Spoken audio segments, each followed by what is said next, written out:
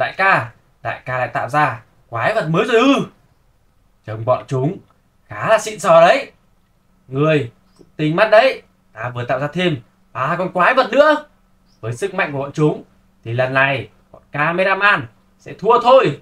Mấy tên này được trang bị tên lửa, khiêng và cái liềm để gặt lúa. Đại ca, bây giờ chúng ta tới chỗ bọn cameraman để em gặt chân bọn chúng thôi. Được, chúng ta mau đi thôi. Mọi người, bọn sờ kỳ toilet, bọn chúng lại quay lại kìa. Hôm nay, bọn chúng đã mang theo ba con quái vật mới. Mấy cái tên này còn cầm liềm, cầm tên lửa đi chiến đấu kìa. Bọn này hết linh kiện rồi hay sao mà lại mang cả liềm gặt lúa thế này? Ha ha ha ha. Các người, các người cứ cười đi.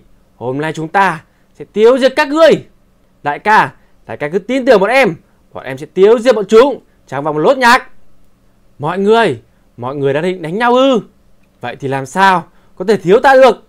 TV Man ta đã quay trở về rồi đây. TV Man, cậu về đúng lúc lắm. Chúng ta hãy cùng nhau tiêu diệt cái bọn sờ cái bi đi. Thôi xong rồi, còn TV Man kia rất mạnh. Hắn ta đã quay trở lại rồi. Liệu chúng ta có giành chiến thắng không đây?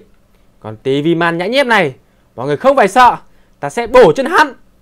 Thấy chưa? Sợ chưa?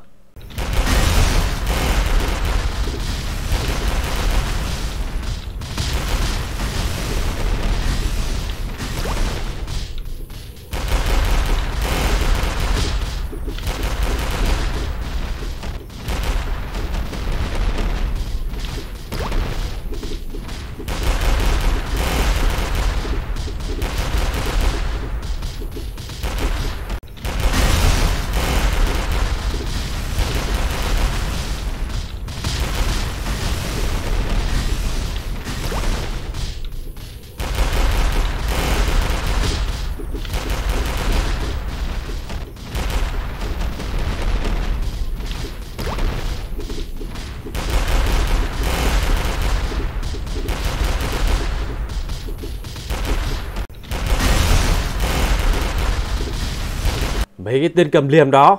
Một chiêu thức của ta thôi, Là lổ tung rồi. Ha ha ha ha ha. Ủa, Mọi người, Anh TV Man, Anh ấy lại đâu rồi? Chẳng có nhẽ, Cậu ấy lại bị lạc ra không gian khác rồi. Cậu ấy vừa về mà, Lại thất lạc rồi ư?